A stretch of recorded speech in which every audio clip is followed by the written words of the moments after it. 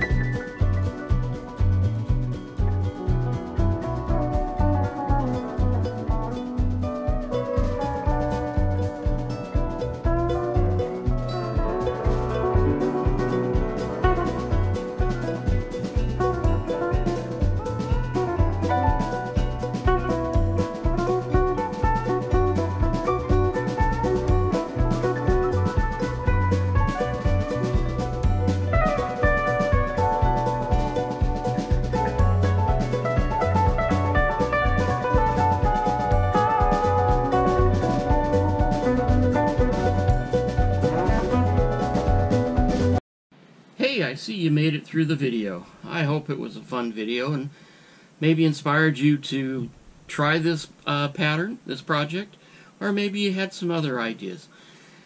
Here is the finished product that I have completed. Uh, it's made out of uh, quarter inch Baltic birch plywood and the backer is walnut so that you can see the pattern. I think it turned out really nice. Um, it's a fairly easy project to do. It didn't take long to do it, uh, but I did have a lot of fun doing it. So, uh, there it is. Once again, thank you to all my subscribers, both new and old, who have stuck around and watched me grow and watched me make different things. I'm grateful for that. If you like this video, press the subscribe button and press the bell. That'll let you know whenever I put something new up. Once again, thanks for sticking with me. Talk to you later. Bye.